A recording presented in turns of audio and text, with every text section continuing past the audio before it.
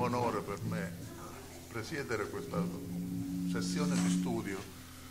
dedicata a Farinelli nell'occasione della fondazione di un centro studi a lui intitolato. Oggi Bologna e segnatamente l'Accademia Filarmonica Bolognese, assieme ai benemeriti, alle benemerite istituzioni che si sono associate in questa iniziativa, paga un debito morale molto importante nei confronti di un suo figlio d'adozione. Farinelli visse la musica come ragione di vita. È stato tradito atrocemente, non soltanto dalla vanificazione della sua volontà, attraverso la dispersione di quel legato che lui aveva costituito in fondazione. Oggi si parla tanto di fondazione nel bene e nel male ma tante volte queste fondazioni, questo vale anche per quelle di oggi, sono affondazioni di qualche cosa di esistente. Nel caso di Farinelli fu affondazione in quanto l'arrivo delle leggi napoleoniche rese possibile la vendita di un patrimonio che era stato accumulato col desiderio di una testimonianza valevole e perenne di quella che era stata la musica alla corte di Spagna e nella vita di Riccardo Grossi. Tutto questo è stato disperso e fortunatamente da questo immane naufragio si sono salvati almeno due serie di codici importantissimi che sono quelle che ci hanno trasmesso il corpus delle sonate di Domenico Scarlatti. Ma per il resto l'inventario, che eh, l'inventario mm, diciamo legale, che non è in appendice al testamento, ma mi chiarisce opportunamente la dottoressa Poris che fu redatto e pubblicato un anno dopo la morte e perciò disgraziatamente sfuggì a Kirkpatrick che pubblicò il testamento così come l'aveva trovato e questo inventario getta una luce che, che accresce il rimpianto fino a renderlo dolorosissimo, in quanto la biblioteca che Farinelli, gli strumenti che Farinelli aveva lasciati a questo fideicommesso erano di una tale importanza da gettare un fascio di luce enorme su un periodo che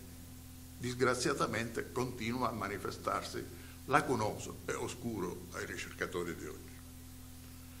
Per quanto riguarda il, eh, la collezione dei, dei manoscritti, è talmente importante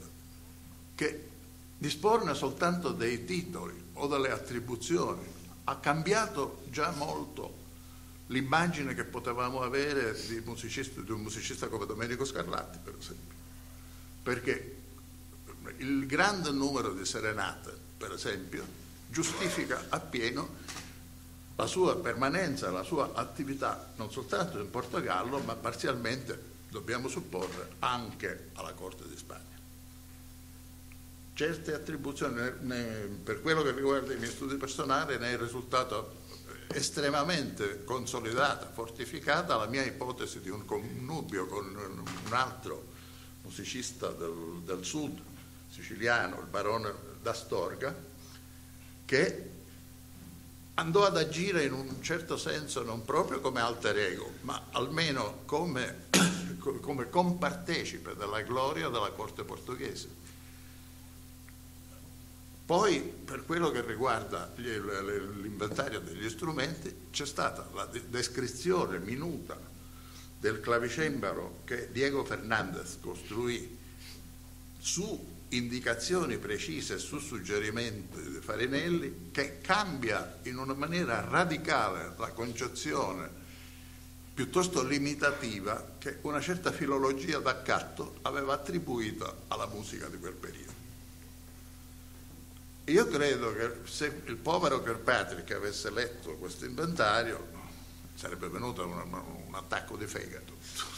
Su questo non c'è dubbio, intanto per non averlo trovato lui e poi, per, e poi per, leggere questo strumento che in un certo senso, vi ricorderò che Kirkpatrick era nato al cembalo sia pure con, con eh, dovute ossequiosità ai, ai procedimenti di costruzione storici, ma il suo primo cembalo era il Charles, che, che era un cembalo a pedali, quindi che consentiva delle registrazioni mentre le mani sono eh, impegnate a suonare. Alla fine della sua vita, Kirkpatrick, che non era una persona facile, né pronta e disposta a cambiare idee, aveva cambiato idea e si era adeguato all'idea di uno Scarlatti suonato sul cembalo a un solo manuale e due registri di otto piedi, basta. Quindi il, la testimonianza principe che abbiamo della sua attività di esecutore scarlattiano è nella registrazione delle 60 sonate che viceversa sono fatte col, col vecchio criterio, quindi con lo shifting di registrazione a pedali. E invece l'ultima sua testimonianza è il disco di 14 sonate fatto per, per la Deutsche Grammophon Gesellschaft con uno strumento appunto storico e codificato in quel binario piuttosto restrittivo. Lo strumento di Diego Fernandez ha la bellezza di 12 pedali e consente la registrazione, il cambio di registrazione durante l'esecuzione. Tutto questo, ah, lo studio dei, dei documenti ci fa vedere che effettivamente dovette nascere non tanto da un impulso di Domenico Scarlatti, quanto da una smania della regina Maria Barbara che evidentemente restava insofferente di fronte al limite del clavicembalo tradizionale. E le parole con le quali il Sacchi descrive nella biografia di, di Farinelli questa nascita e collaudo, questa sorpresa che Farinelli fa alla sua regina, ci fanno vedere che era nato proprio da, questo, da, da questa esigenza. Però a questo punto noi sappiamo che non soltanto Scarlatti dispose di uno strumento sul quale si poteva suonare il 16 piedi, il registro grave, sul quale si potevano cambiare le registrazioni, ma che la sua scelta di quella che appare come l'ultima parte della sua produzione, di restare fedele a hanno uno strumento con le limitazioni che ho detto prima, era una scelta ragionata, era una, una scelta di qualcuno che sapeva di disporre anche di altri mezzi. Quindi mm, questo documento ha gettato, come vi dicevo, un fascio di luce importantissimo su, sulle ricerche e se ne attendono gli sviluppi adeguati, in quanto oggi non ci limitiamo più a dire esiste questo questo documento. Questo atteggiamento di, prammatica ossequiosità all'esistente e nient'altro che all'esistente è, grazie a Dio, accantonato. E quindi bisogna ehm, rileggere